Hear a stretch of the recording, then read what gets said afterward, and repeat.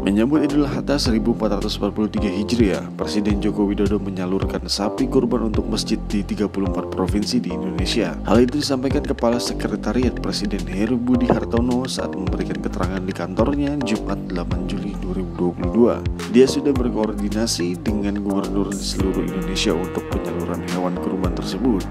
Heru juga memastikan hewan kurban yang disalurkan nanti telah melewati serangkaian tahapan pemeriksaan kesehatan sapi dalam keadaan sehat. Selain itu, untuk bobot sapi sendiri bervariasi dari 800 kg hingga 1 ton. Adalah 34 provinsi. Lantas kalau ditanya uh, posisinya atau di bagian provinsi itu di mana, itu kami minta dari Pak Gubernur, para gubernur yang menentukan lokasi-lokasinya yang tentunya sudah diarahkan uh, oleh Bu Deputi yaitu di masjid ya.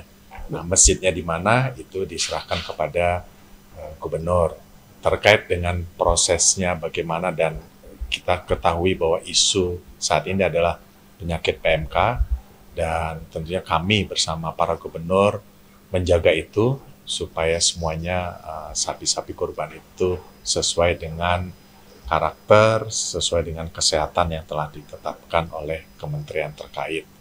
Maka dari itu eh, kami bekerja sama dengan tentunya Gubernur, Kementerian Pertanian, Kementerian, Kemen Agama. Kementerian Agama, dan Dinas Pertanian setempat.